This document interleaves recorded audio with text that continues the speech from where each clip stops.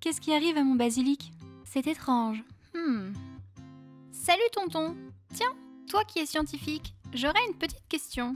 Salut Emma, comment ça va? Dis-moi. Ça va bien Mais voilà, mon basilic est bizarre, regarde. Ah oui, ton basilic est malade. Ah zut, je ne savais pas que les plantes pouvaient être malades. Eh oui, les plantes aussi peuvent être malades. Tu sais, ce sont des êtres vivants. Leur santé peut être affectée par de nombreux parasites. Qui dit beaucoup de parasites, dit beaucoup de maladies, et donc une grande diversité de symptômes.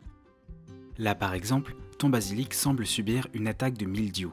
Il faut bien le surveiller, car il pourrait aussi être attaqué par des ravageurs ou des prédateurs, comme des limaces ou des insectes. Ceux-ci peuvent dévorer les feuilles et les racines saines, mais aussi les fruits et les graines. Tiens, tu sais que parfois, ces deux types d'agresseurs conjuguent leurs actions Certains ravageurs sont aussi des vecteurs de parasites. Non, je savais pas. Mais là, je fais quoi? C'est grave que la plante soit malade? Mon basilic n'est plus bon? En théorie, ce n'est pas toujours grave. Mais en réalité, cela a très souvent des conséquences, comme l'altération de la qualité des produits. Si tu étais productrice de basilic, ces attaques pourraient générer des pertes économiques majeures et un gaspillage de ressources alimentaires, voire même mettre ta santé en danger. Ah bon? Mais comment la santé des plantes peut jouer sur ma santé? La santé des plantes est liée à celle des hommes, des animaux et de l'environnement. On occupe tous la même planète et on dépend les uns des autres pour se nourrir, se protéger ou se développer. Donc, ce qui est mauvais pour ta plante peut être mauvais pour toi aussi. Ok, mais pourquoi? Pour faire simple, tout est lié au sein des chaînes alimentaires. Une chaîne alimentaire, c'est une suite d'êtres vivants dans laquelle chacun mange celui qui le précède. Dans une telle chaîne, tous les éléments sont liés et peuvent être contaminés. On l'a constaté pour les transmissions de maladies entre les animaux et les hommes. C'est ce que l'on appelle les zoonoses. Mais dis-moi, comment la santé des plantes dépend-elle de celle des animaux ou des hommes? Laisse-moi prendre un exemple.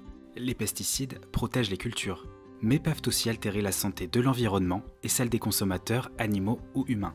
La perte de biodiversité favorise des épidémies à grande échelle et donc un emploi plus important de pesticides, qui altèrent encore plus la santé de l'environnement et celle des consommateurs. Analyser ces relations de dépendance entre toutes les santé est la base du concept One World, One Health. Autrement dit, un seul monde, une seule santé. Donc, si je soigne mon basilic, c'est comme si je me soignais avant de tomber malade à cause de lui. C'est un raccourci un peu rapide, mais qui a une grande part de vrai. Soigner des plantes, ce n'est pas juste guérir une maladie quand elle survient, c'est aussi protéger les animaux et les hommes en leur évitant de consommer des produits qui ne sont pas sains.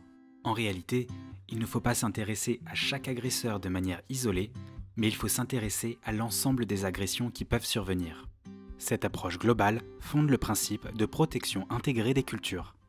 Prévenir, via la sélection sanitaire, la prophylaxie. Limiter, via les variétés résistantes ou le biocontrôle. Guérir, via une utilisation raisonnée et en dernier recours, des traitements. Ce sont des principes de l'agroécologie. Agroécologie? Je ne connaissais pas. Et oui, c'est un domaine encore peu connu. Et pourtant, la gestion de la santé des plantes est un domaine essentiel pour nos vies et pour notre futur. C'est pourquoi la FAO a déclaré 2020 année internationale de la santé des végétaux. Bon, si je comprends bien, je dois soigner mon basilic et faire attention à ce qu'il ne tombe plus malade. Oui, c'est ça. Merci tonton pour tes conseils et ce petit cours de science. Avec plaisir. À bientôt. Ne t'inquiète pas, tu es entre de bonnes mains toi.